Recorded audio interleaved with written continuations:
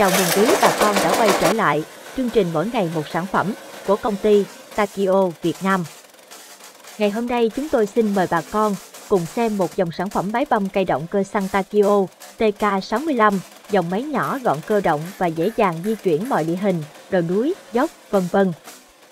Với những vườn cây ăn trái, cây công nghiệp lâu năm, hàng năm sau mỗi vụ thu hoạch bà con phải cắt tỉa, tạo tán mới cho cây, cắt những cành cây bị khô, thiếu ánh sáng, để vườn cây được quang hợp tốt hơn và có một vụ mùa sắp tới bội thu hơn. Những cành cây bị cắt tỉa loại bỏ rất nhiều, nhưng bà con không biết làm gì để xử lý, được chúng một cách hiệu quả, kéo chất đống trong vườn thì cỏ sẽ mọc um tùm và vườn không được sạch sẽ. Còn đợi củi khô để đốt dọn thì sức nóng của lửa sẽ ảnh hưởng đến cây cối trong vườn, gom đóng thuê xe chở đi thì chi.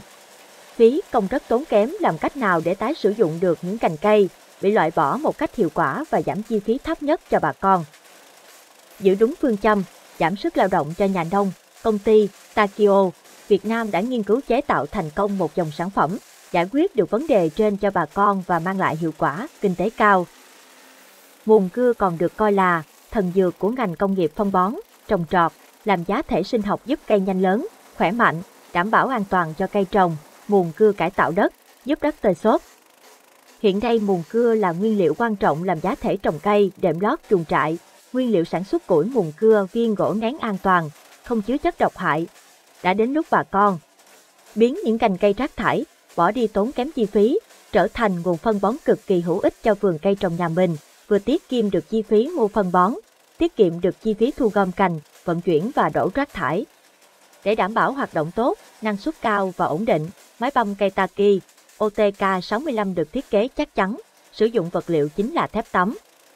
Các chất liệu này giúp máy vững chắc, hạn chế tối đa rung lắc trong quá trình băm nghiền gỗ và đảm bảo an toàn tuyệt đối cho người sử dụng. Máy được lắp ráp động cơ xăng bảy ngựa, giúp cho máy chạy và băm các loại cành cây, có đường kính lên đến 7cm. Máy được trang bị hai thép công nghiệp, nhập từ Nhật Bản. Về độ sắc bén và bền bỉ tốt nhất hiện nay, thiết kế máy nhỏ gọn, có bánh xe giúp di chuyển, cơ động trên mọi địa hình. Bà con có nhu cầu về máy hay quan tâm, hãy liên hệ số điện thoại bên dưới để được kỹ thuật viên tư vấn báo giá chi tiết. Cảm ơn quý bà con đã theo dõi kênh video của chúng tôi.